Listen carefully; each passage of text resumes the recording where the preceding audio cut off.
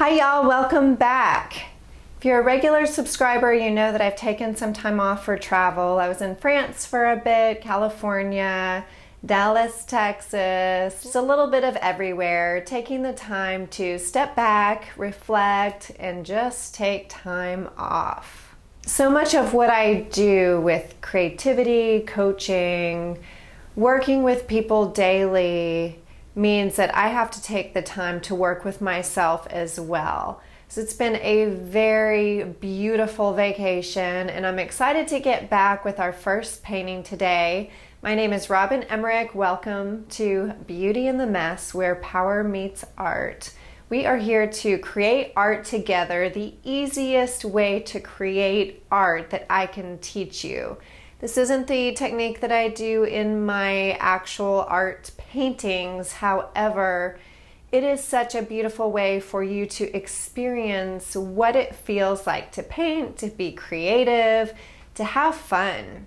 How we start is turn on a little bit of music, set our intention, and just start painting. This week's intention is self expression. Literally, just following your heart in what you want. That is what I've done in the last month over vacation and what I discovered, especially walking through Paris, was meeting so many wonderful people, experiencing so many great things, even as simple as an iced coffee that was amazing, nothing like I've had here in the United States and just exploring the moment. Exploring the moment. I found over and over that when I take the time to get present, amazing things happen.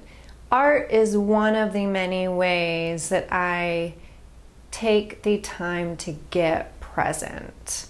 Anything that's going through my mind empties. My mind is focused solely on the art. So go ahead, set your intention. If you want to keep it the same and paint with me, let's go for it. I want to see your fullest self expression. So let's go ahead and get started. I've detailed the how in the description below. However, this is going to be another acrylic pour. It's going to actually be called the swirling method and you'll see why. Got everything set up, ready to go. So set your intention or come with me on my journey of self expression and let's go.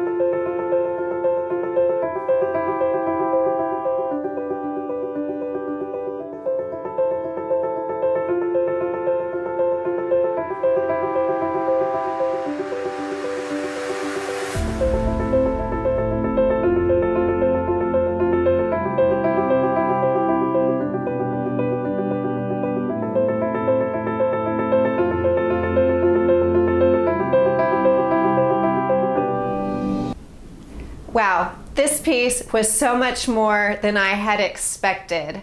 I did not have the amount of paint that I thought I had to create this huge 30 by 40 canvas. So after the recording, as I was cleaning up, I actually decided to go ahead and see what would happen if I added some more paint. So you'll see here, final piece, I've added some more paint on the sides and I really discovered the own power of trusting my heart, finding the beauty in the mess. I created the biggest mess that I've probably had in a in a long time. So I went with it, rolled with it, and what I discovered is again so much beauty. In life, when we jump into that mess, we will always find the beauty. Sometimes it is not right away, sometimes it takes some time, and that's okay. Keep following your heart.